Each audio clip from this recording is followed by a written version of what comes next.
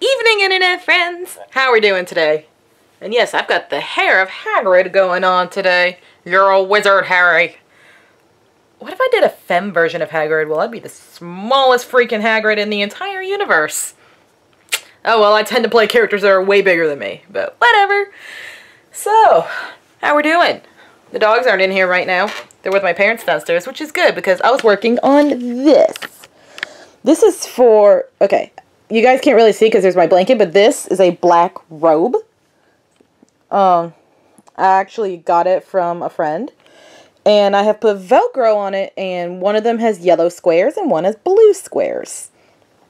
Um, if you've ever seen the meme with the bird that says, let me smash, please, this is, that's what I'm making. I am making the cosplay of that bird. Because, you know, he has, you want some blue, you want some yellow, yellow and blue. Um, I got the rest of the costume figured out. The only thing I need to do, or only things, I need a makeup test. And then I plan on making a sign that says, let me smash, please. And on the other side will be a sign for my other cosplay that says, have you seen my son? So, this is what I've spent my night doing while kind of listening to vlogs. So, fun times. Um, but I hung out with Lakota today and it was a lot of fun. So, she came over. We literally hung out at my house for a while and then went to Coolidge Park. We went to this salon where they they do like something about like figuring out which chakras need what aromatherapy or something like that. It was actually pretty nifty. Though Lakota thought it was weird because almost all the essential oil smells smelled very similar to me. I don't know why, because they all had different ingredients, but they all smelled the same. So, maybe my nose is broken, I don't know. Boop. And then we went to a used bookstore, which had a dog. Yes! Her name was Ella, and I got to give her a cookie. She kind of was snappy, though. Kind of like how Emerald is. Just, like, snaps at a treat, so... The owner's like, she just bit you, and I'm like, nah, I'm used to it. My puppy does this to me all the time. Um, and turns out one of the owners is the mother of a cosplay friend that I met two years ago. Because I was buying a book and she was like, wait, you look familiar. Actually, yeah, you met my daughter two years ago. And I was like, oh, really? Um, I haven't really spoken to her daughter in a while, so that was nice. Um, I bought a book called The Devil's in the Details. And it's a really fascinating book. It's a memoir about this woman growing up with severe OCD. What did she call it? Scrupulosity or something? Basically religious OCD. Where I haven't finished reading it yet, but so far it seems that like almost almost every law that's like in the Bible or in Jewish texts, she goes by. And her because her OCD makes her.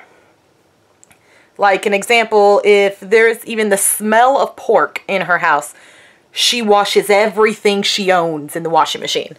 Not just clothes, but also shoes, barrettes, backpacks, like anything that could be in the washer. Um, I'm finding it to be really fascinating, actually.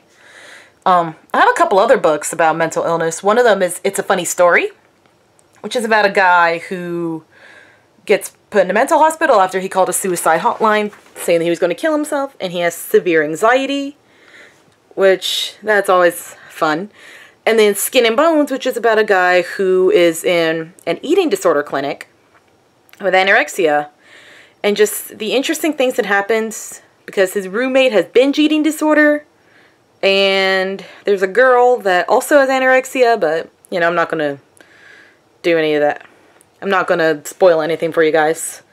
Um, but those were really fascinating books. I really like them.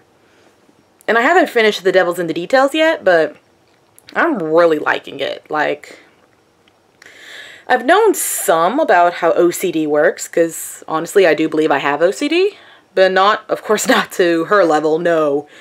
But I think my, I mean, I've always felt like I have OCD tendencies. And I'm pretty sure I have dermatillomania, which is a form of OCD, where it's a lot of skin picking. I pick at my face a lot. And sometimes I think you guys can tell in the vlogs I'll look like I have scabs on my face, which I think they've cleared up. Well, there's that one. Uh, might be a scar. But um, if I look like I have scabs on my face and I think that I look like a meth head, that's why. so, I don't know. My psychiatrist said that I didn't, that it was just severe anxiety. But, I don't know. I need to do that at some point. I need to find a psychiatrist in my area. But so far, there's only been one that I found that... Of course, every one of them that I called, they're like, oh, you need a referral. And I'm like, well, I need to know if you will actually take me before I can ask my doctor to refer me because, you know, he's five hours away. Um, this one was the only one who was accepting new patients and could take my insurance. So, yay. I might need to call and get referred again because I've not heard anything back from this psychiatrist and I am almost out of Prozac. So, goody. That is my main like anxiety medicine that I take. The Buspirone I take like throughout the day as more of a keep anxiety at bay kind of thing. Though sometimes it upsets my stomach and makes it feel really acidic, and I think it's doing that now. Um, but we'll see. Um, but yeah, I'm almost, I have no more refills for Prozac, and I really need to get that refilled, so goody. I'll have to call my psychiatrist tomorrow, which, because of the hospital phone system, it's an absolute pain in the butt. Oh, fun fact, the one of the last times that I went to see him, um, the receptionist seriously thought that I drove five hours to see him, and I'm like, no, not at all.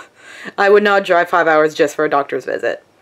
Um, but I mean, I probably should also look for psychiatrists in the Chattanooga area, because that's close to where I live. Um, since I've only seen one in my hometown, that would work, but I will just see.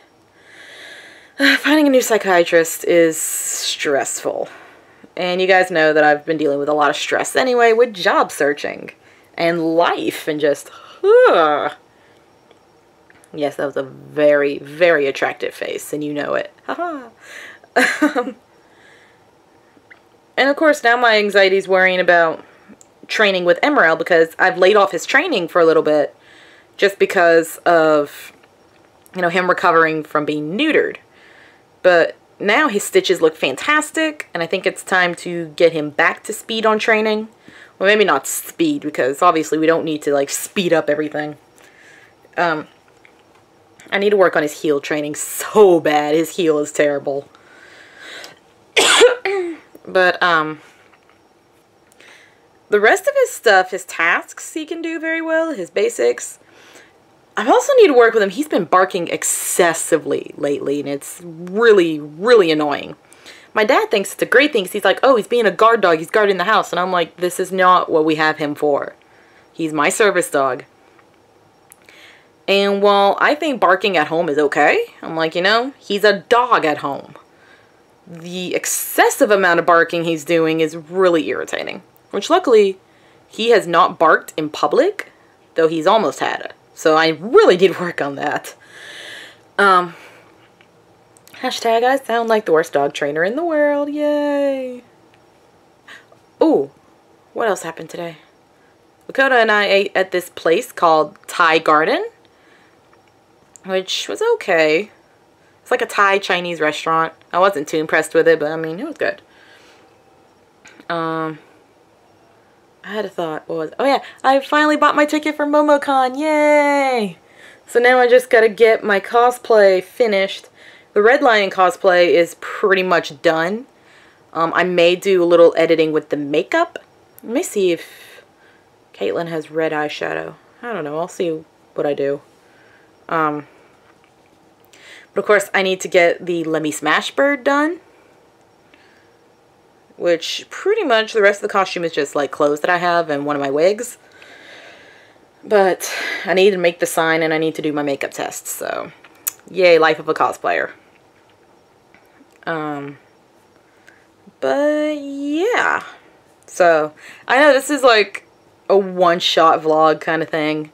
Because like my day's been so busy today. Like I even got the vlog up late, as you guys could tell. but welcome to life. Oh, and I saw that Faces of Mental Illness is doing awesome. Woo!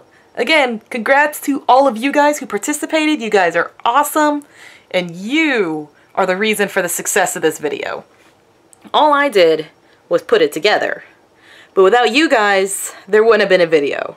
So, yay! Good job, you guys! High five! Woo! There's some Jacksepticeye in there. Top of the morning, dear laddies!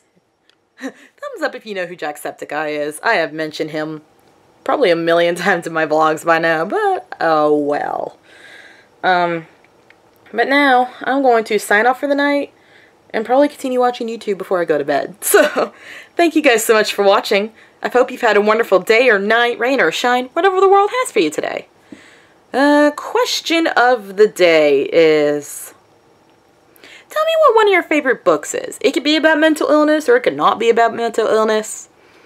So far, my favorite book about mental illness is Skin and Bones. But my favorite book of all time probably has to be Storm Thief. It is just wonderful. So put your answers down below and I'll see you tomorrow. Bye.